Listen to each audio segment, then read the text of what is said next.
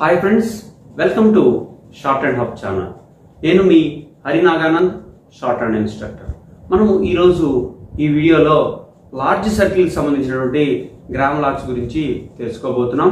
Previous వీడియోస్లో large సర్కిల్ని ఎప్పుడెప్పుడు రాసుకోవాలనే టాపిక్ గురించి డిస్కస్ చేసుకున్నాము. సో మీరు thirty one thirty two exercises అనేది పూర్తి చేయాల్సి ఉంటుంది. తర్వాత గ్రామ్ లాక్స్ అనేవి ఫార్టీ వన్ పేజీలో ఉన్నాయి.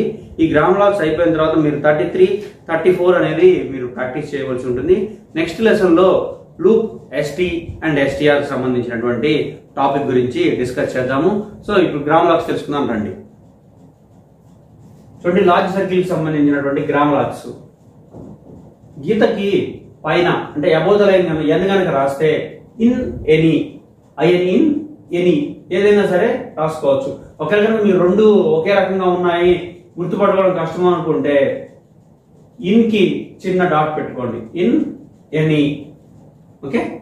గుర్తుపెట్టు గుర్తుపెట్టుకోవడం ఇబ్బందిగా ఉంటే లేదు మేము గుర్తుపెట్టుకోగలము అనుకుంటే డాట్ లేకుండా రాసేసుకోవచ్చు. N. N above the line రాస్తే ఇన్ ఎనీ. అదే అని త్రూ ద లైన్ రాస్తే ఓన్. ఈ రెండు కూడా light right impression. Okay? Light. ఎన్నని అవదలైన రాస్తే ఇన్ యూనియన్ పలుకుతుంది అదే ఎన్నని త్రూ రాస్తే ఓన్ అనే శబ్దం పలుకుతుంది. ఓకే? తర్వాత మనకి డౌన్వర్డ్ ఆర్ ఉంది కదా? ఆ డౌన్వర్డ్ ఆర్ని ఆన్ రాస్తే యువర్ అవుతుంది అదే త్రూ రాస్తే ఇయర్ అవుతుంది.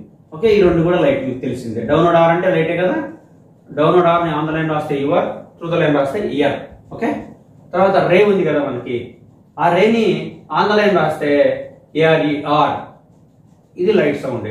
అదే సింబల్ని ఇలా గీతకి త్రూ ద లైన్ రాస్తే hour O U R H O U R రెండు. ఓకే? ఈ రెండు కూడా లైట్. తర్వాత ఈ అవర్కి లార్జ్ సర్కిల్ కనుక పెడితే అవర్ జెల్స్ అవుతుంది. ఓకే? అవర్ గనక లార్జ్ సర్కిల్ పెడితే అవర్ జెల్స్ అవుతుంది. తర్వాత దెమ్ జెల్స్. ఇత్తు దీ ఉంది కదా? దీకి లార్జ్ సర్కిల్ పెడితే దెమ్ జెల్స్ అవుతుంది. ఓకే? మీకు చాలా మందికి డౌట్ రావచ్చు. డిసీజ్ కూడా ఇలాగే ఉంటుంది. డెమ్ సెల్స్ అలాగే ఉంటుంది. సో దెమ్ సెల్స్ వచ్చినప్పుడు ఇలా జస్ట్ అలా కట్ చేసుకోండి. డెమ్ సెల్స్ అని గుర్తుండిపోతుంది మీకు. ఓకే? డిసీజ్ కూడా అలాగే ఉంటుంది. దెమ్ సెల్స్ వచ్చినప్పుడు దెమ్ సెల్స్ రాసుకొని జస్ట్ అలా కట్ చేసుకోండి. ఒక చిన్న గీత. ఓకే? దానివల్ల మీకు ఏమవుతుందంటే దెమ్ సెల్స్కి డిసీజ్కి కన్ఫ్యూజన్ అనేది లేకుండా ఉంటుంది. చూడండి. ఎన్న వదలేని రాస్తే ఇన్ అదే అని తుదలేని రాస్తే ఓను. డౌన్లోడ్ ఆర్ని ఆంధ్రలైన్ రాస్తే యువర్. అదే త్రుదలైన్ రాస్తే ఇయర్ రే ఉంది కదా దాన్ని ఆంధ్రలైన్ రాస్తే ఏఆర్ఈఆర్ అదే త్రుదలైన్ రాస్తే O U R H O R hour hour okay దానికి కనుక లాజ్ సెట్లు పెడితే అవర్ జెల్స్ అవుతుంది. ఇది కూడా లైట్ తర్వాత దెమ్జెల్స్ ఇత్ ది ఉంది కదా దానికి లాజ్ సెటిల్ పెడితే దెమ్జెల్స్ అవుతుంది. సో దానికి ఎగ్జాంపుల్ ఇది దెమ్జెల్స్ ఒకవేళ మీరు కన్ఫ్యూజ్ అయిపోతే చిన్న టిక్ కట్ చేసుకోండి.